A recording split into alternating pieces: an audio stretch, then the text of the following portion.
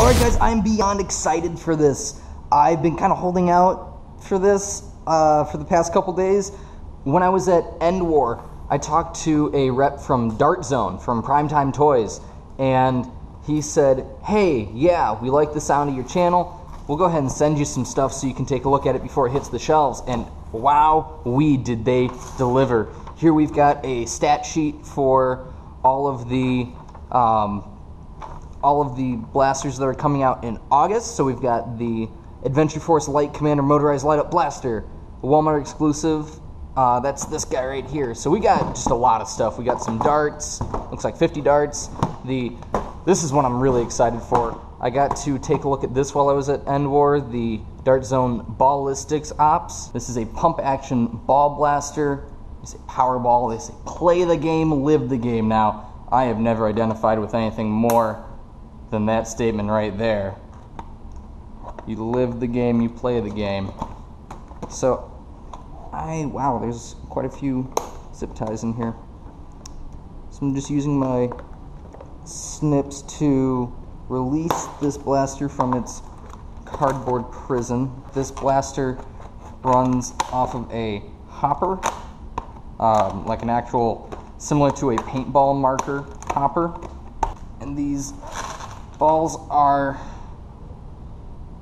I'd say they're just a little bit firmer than rival balls, which is not the end of the world. Obviously, cornucopia balls were quite a bit harder, and the community still accepted them pretty readily until uh, Headshot came out.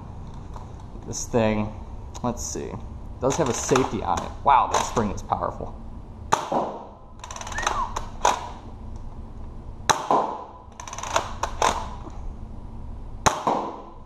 Wow. I almost feel like this thing needs a stock, otherwise it's just kind of a like a sawed-off shotgun or something. I think I got two rounds left. Nope, it does not have slam fire, unfortunately. This thing is really powerful. MSRPing for 17 $18. Oh, there's the hopper, and I was told, we're gonna test this out, that it is completely compatible with, oh yeah, kind of double fed there. Wow. Whoops. All right, I think it double fed there. So while compatible with Nerf magazines, is not the ideal setup, but if you have just a lot of Nerf magazines for the ball blasters, it will work, which is exciting because I have quite a few. Wow. This thing is a solid pickup for 18 United States dollars. I, uh, I can't wait to see these hit the shelves. They will be hitting the shelves on August, um, or during the month of August. The ergonomics of this blaster is very nice. The uh, front grip is solid. It's a little bit on the smaller side, but it's not too small. The spring on this thing is just absolutely ridiculously strong.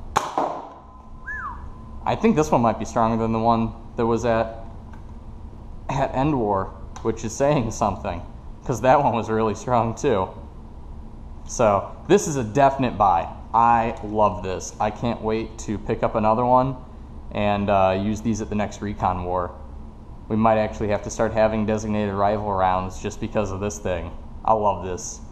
So that's been my review of the Powerball uh, ballistics ops from Dart Zone. Thanks for watching, guys. Don't forget to like and subscribe. There's more videos here and a little subscription uh, button right there. Of course, leave me a comment. Tell me what you think. Tell me if you think that the ballistics ops is worth it. I definitely think it is. I'd love to hear what you guys think. So, thanks for watching, guys.